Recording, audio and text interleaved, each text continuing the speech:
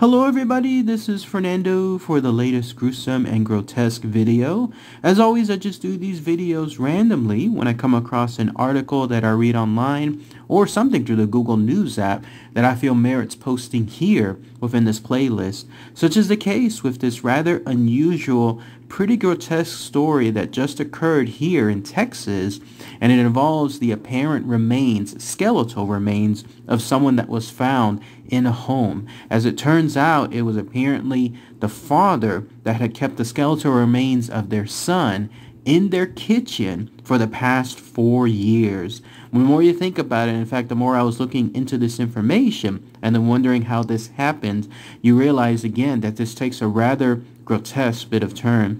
But yes, it just happened just the other day, at least with regards to the discovery. In fact, you're looking at a picture of the incident here, and essentially it's this. It's a David McMichael who was charged with abuse of a corpse because of keeping the skeletal remains of his son in his home. So let's go ahead and let's share that information here. And unfortunately, this is one of those stories where there's no real winners, if you could even call it that. This is a tragedy that's pretty much all around. You know about that more here in a minute. So here's essentially what occurred. David McMichael was living there at an area in Texas called New Boston. I actually had to look it up. I had no idea where this was. It's just another one of the myriad of tiny Texas towns scattered throughout the state. And in this case, it's more towards the Texarkana area. If you don't know where that is, that's more like towards the northeast side of Texas. Tiny town, again, a population of about 4,000. And that's where this father lived there with his son. Or at least that's what the idea was. His son was a guy by the name of Jason. A little bit of info, even though it's brief, more details are coming about apparently as the story unveils.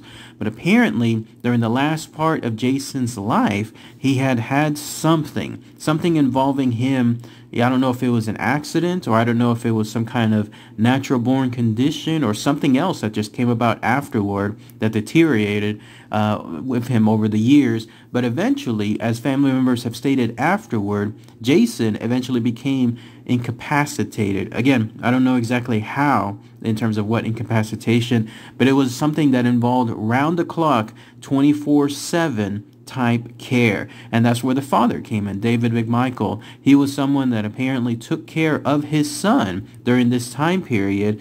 And then it was the last couple of years, back in May or so of 2018, probably even sooner, that that was the last whereabouts associated with Jason. For all intents and purposes, the family and others just thought that Jason was living there with his father in that home in New Boston just as is, peacefully secluded, maybe more of an isolationism, a bit of stance, but still just living there. But later on, we all know that the story changed. Somewhere along the way, a family member was alerted to a potential change uh, that happened with Jason. I don't know if that change involved the news of his death or if it was just a random welfare check. Something the lines of, hey, we haven't seen Jason in a long time. Let, us have someone check on it. This may even involve reaching out to the father, David McMichael, to try to see what was going on and maybe having no response. That's where the, uh, the, um, the actual welfare check was uh, cited. Again, I don't know the details on it. I'm just going by what makes the most sense.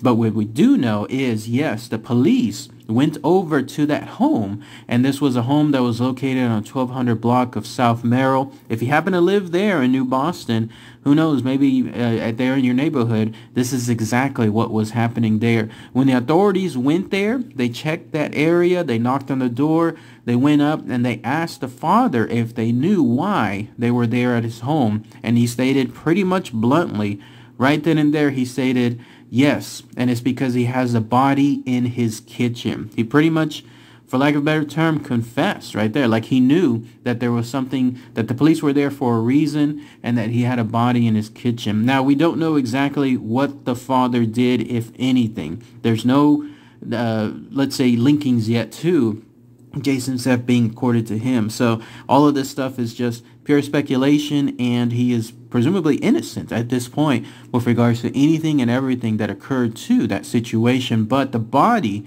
was definitely there.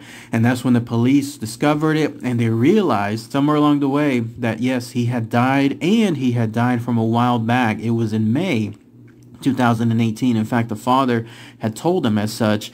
And so if you do the math, that's almost four years ago. So the reason I wanted to include it here in this gruesome and grotesque playlist is because of this.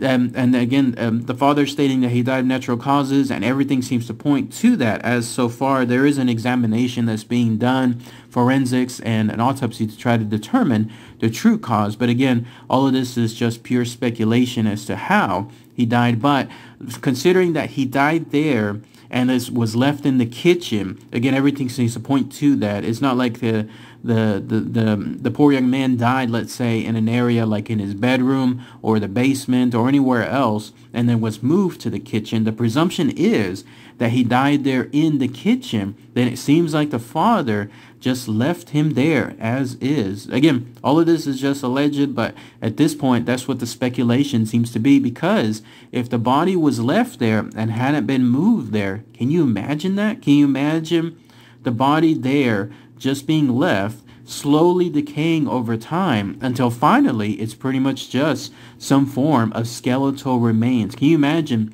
living there, passing by that body, passing by the area there each and single day, just basically waking up, cooking something in the kitchen, cleaning the area around the home, something along those lines. Like eventually after a certain point, who knows after how many uh, dozens and dozens and eventually hundreds of days, it would get to the point again where that body would just be skeletal remains. All of that was happening with the father living there.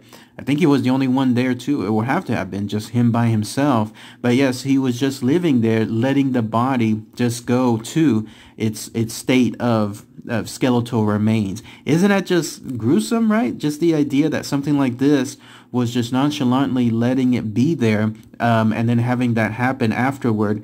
It's like the stuff you kind of see in movies. Now, I mentioned earlier that this could be just 100% a, a situation where nobody wins, just an unfortunate tragedy because the father, if, if all indications point to this to be true, like he was someone that seemed to have cared for his son, again, 24-7 up until the point of death. So imagine his shock. He probably wanted to leave that body there as something like a remembrance, something that occurred with his son and not have his son be taken away, uh, so to speak, and then not having the chance to see him, quote unquote, on, on a regular basis. I mean, imagine the mental attitude of something like that, the tragedy and the sadness of someone to basically do that and leave that as skeleton remains as is just to have the son close by.